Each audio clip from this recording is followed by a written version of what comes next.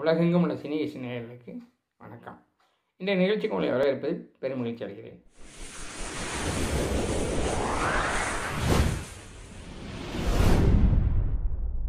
நாகேஷ் ஒரு அற்புதமான கலைஞர். இவர் தமிழ் சினிமாவில் அவர் காலகட்டத்தில் இருந்த எல்லா ஹீரோக்களுமே நடிச்சிருக்கார். நமக்கு தெரியும்.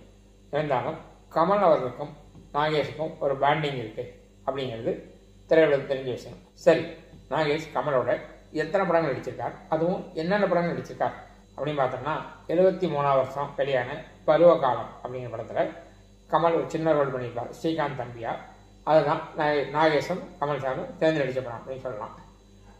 அதுக்கப்புறம் எழுபத்தி நாலில் வெளியான குமாஸ்தாவின் மகள் பட்டாம்பூச்சி போன்ற படம் சேர்ந்து நடித்தாங்க எழுபத்தி அஞ்சில் அபூர்வராங்கள் கேபி சார் படம் சூப்பர் ஸ்டார் முதல் படம். அதில் நாகேஷார் டாக்டர் ரோல் பண்ணியிருப்பார். அது நல்ல கேரக்டர் எழுபத்தி ஒம்போதில் நீலமலர்கள் இந்த எண்பது வரைக்கும் பார்த்தீங்கன்னா நாகேஸ்வரர் படத்தில் கமல் இருப்பார் அப்படின்னு சொல்லலாம். அந்த மாதிரி தான் ரெண்டு பேருடைய பங்களிப்பு இருக்கும். எண்பது பிறகு தான் நாகேஷ்கான கேரக்டரை கமல் செலக்ட் பண்ணி அவர் நடிக்க வச்சார். எண்பத்தி ஒன்றில் கடல் மீன்கள். இந்த படத்தில் அப்பா கமலுக்கு நண்பனாக படம் முழுவதும் வருகின்ற ஒரு கேரக்டரை நாகேஷ் நடிச்சிருந்தார் மீனவனாக. எண்பத்தி ஒன்பது அபூர்வ சகோதரர்கள். இந்த படத்தில் பல சிறப்புகள் உண்டு. முக்கியமான சிறப்பு நாகேஷ் விழா நடித்தது வில்லன் அப்படின்னா ஏதோ குடும்ப வில்லன் அப்படிலாம் கிடையாது. ஒரு டெரரான மசாலா வில்லனா ரொம்ப வித்தியாசமான கெட்டப்பில் நாகேஸ்வர் நடிச்சிருந்தார். அடுத்து தொண்ணூறில் இந்திரன் சந்திரன். இதில் கிளைமாக்ஸில் மந்திரியா ஒரு சின்ன ரோல் நாகேஸ்வருக்கு அதே தொண்ணூறில் மைக்கேல் மதன காமராஜனில் எட்டு பெண் குழந்தை தந்தை அப்படிங்கிற ஒரு கேரக்டரில் நாகேஸ்வரன் நடிச்சிருப்பார். ஆனால் நாகேஸ்வரோட மனைவியோ எட்டு பெண் குழந்தை ஒரு குழந்தையோ கூட படத்தில் காட்டவே மாட்டாங்க. ஆனாலும் எட்டு மணி தந்தை அப்படிங்கிறத தன்னுடைய நடிப்பாளர் ரசிகர் குணத்தீர்ப்பார் நாகேசர் அதுக்கப்புறம் தொண்ணூற்றி நாலு மகளிர் மட்டும். இது நாகேஸ்வர் கெரியர்லேயே ரொம்ப ரொம்ப முக்கியமான ஒரு கேரக்டர்னு சொல்லலாம். ஏன்னா இந்த படத்தில் கால் மணி நேரம் தான் அவர் வருவார். நடிக்கவே மாட்டார்னு சொல்லலாம். நடிச்சிருக்காருன்னு சொல்லலாம். ஏன்னா அவர் இதில் பிணமாக நடிச்சிருப்பார். அதாவது டெட் பாடியாக இருக்கிறார் அதனால் நடிக்கிறதுக்கு எந்த விதமான வேலை இல்லாத கேரக்டர் மாதிரி தெரியும். ஆனால் ரொம்ப கஷ்டமாக நடிப்பு அதுதான்.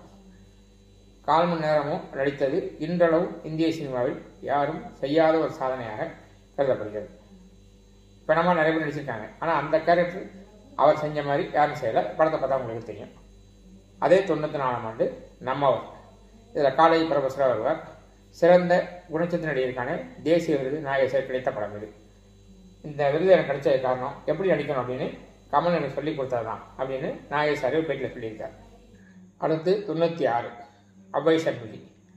அதில் மேக்கப் மேன் ஜோசப் அப்படின்னு பாண்டியனை அபய் சண்முகியாக மாற்றுகின்ற மேக்கப் மேன் கதாபாத்திரத்தில் நாகேஷ் ரொம்ப நடிச்சிருப்பார். அப்புறம் தொண்ணூற்றி எட்டு காதலா காதலா. இதில் கிளைமாக்ஸில் போலீஸ் ஆஃபீஸராக நாகேஷ் ஒரு சீன் வருவார். ரெண்டாயிரத்தி ரெண்டில் பஞ்சதந்திரம்.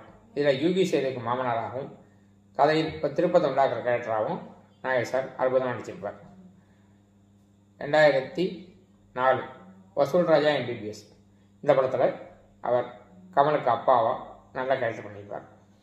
கமலோடு ஒரு பாசப்பிணைப்போடு இருந்த நாகேஷ் அவர்களுக்கு அவருடைய இறுதி படமும் கமல் படமாக அமைந்தது அப்படிங்கிறது ஒரு எதிர்பாராத சம்பவம் அப்படின்னு நான் சொல்லணும். அதுவே ரெண்டு பேருக்குள்ள பாசத்தை விளக்குற சம்பவமாக அமைஞ்சிச்சு. அந்த கடைசி படம் தசாவதாரம். இதில் காளி ஃபுல்லா அப்படிங்கிற கமல் கேரக்டருக்கு அப்பாவை நடிச்சிருப்பார். பார்த்தீங்கன்னா கமல் சாருடைய படங்களில் ஒவ்வொரு படத்துலையும் கேரக்டர் ஒவ்வொரு விதமாக இருக்கும். மீனவனா வில்லனா பெணமா பேராசிரியரா இப்படி டிஃப்ரெண்ட் கேரக்டராக நடிக்க வச்சிருப்பார் கமல் சார் ஒரு படம் கரெக்டாக இன்னொரு படத்தில் ரிப்பீட் ஆகாது. இத்தனை படங்களில் கமலுக்கு அப்பா நடிச்சு ரெண்டே படம் தான். ஒன்று வசூல்ராஜ் எம்பிபிஎஸ் இன்னொன்று தசாவதாரம் அது ரெண்டும் கூட நிறைய வித்தியாசம் இருக்கும். இப்படி நல்ல கலைஞர். ஆரம்பத்தில் பாலச்சந்தர் நாகேஷை பாராட்டும் போதெல்லாம் எனக்கு அவர் மேலே பொறாமல் வந்தது.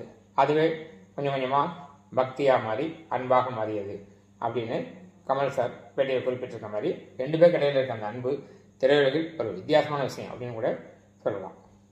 மீண்டும் சந்தி இது போன்ற சினிமா செய்திகளை தெரிஞ்சுக்கிறதுக்கு இந்த சேனலை லைக் பண்ணுங்கள் ஷேர் பண்ணுங்கள் சப்ஸ்கிரைப் பண்ணுங்கள் கூடவே அந்த பெல் பண்ணி ப்ரெஸ் பண்ணுங்கள் எங்களுடைய வீடியோக்கள் உடனுக்குடன் உங்கள்கிட்ட வந்து சேரும். நன்றி.